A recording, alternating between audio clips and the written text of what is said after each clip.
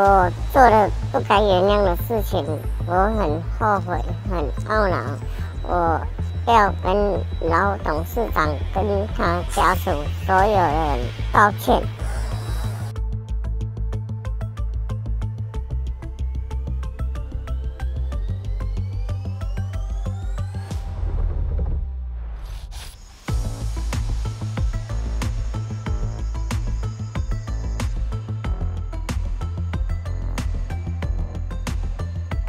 这样可不可以讲一下这这起这个绑架骨灰坛的案件大概怎样？我们在今年的二月九号哈，那有发生一件那个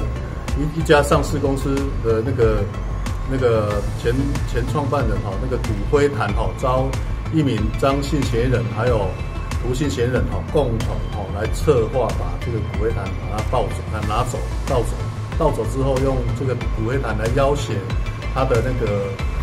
他的那个子女哈来交付一个赎款哈，那这个过程当中，我们针对这斡旋当中的一个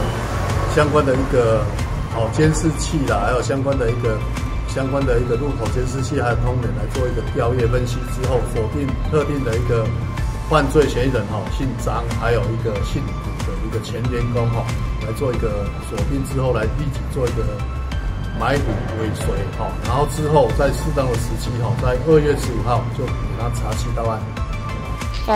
真的被钱逼到，就没有当下都没有意，就没有很清楚的意识判断。所以说你现在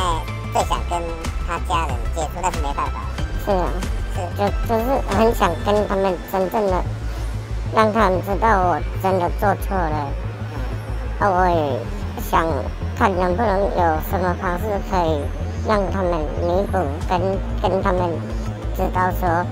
我不会再犯错了。我做了不该原谅的事情，我很后悔，很懊恼。我要跟老董事长、跟他家属所有人道歉。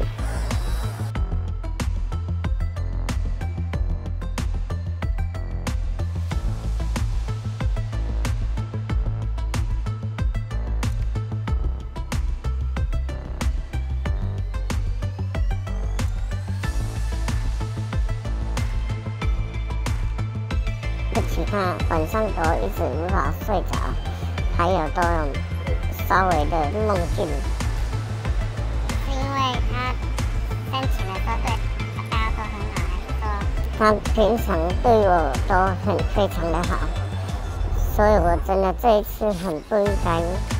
做错这件事情，因为真的是被钱逼到了。